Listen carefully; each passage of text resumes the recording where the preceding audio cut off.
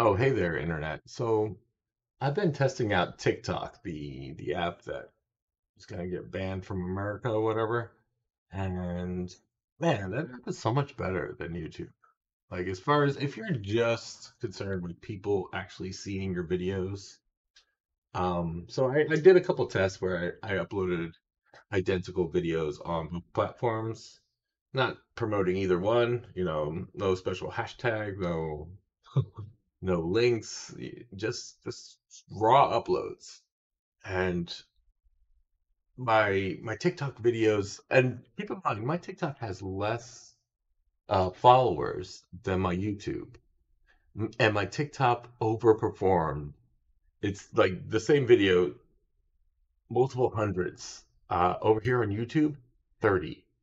It's like, you know, night and day.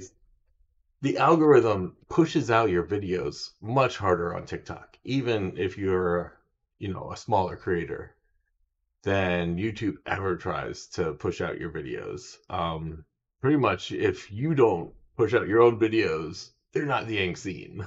So, unless you're a bigger creator, it's, yeah, thousands of millions of subscribers.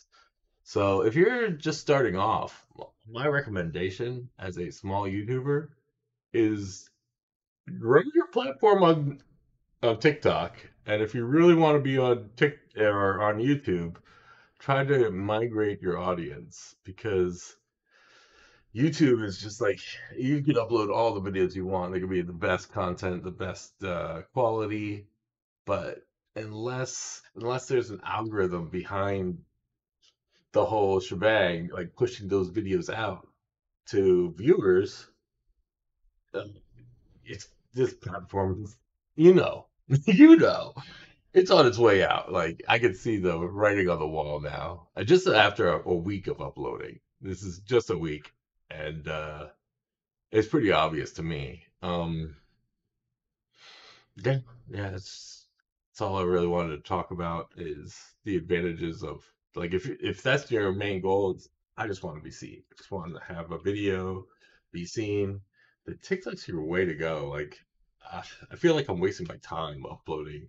Like is this a waste of bandwidth? Is anyone going to see this video? You know, probably not. Not here on YouTube because I'm not going to promote it. But TikTok, that's that's going to be a different different case. All right. Uh, That's just my rant for today. Peace out, internet.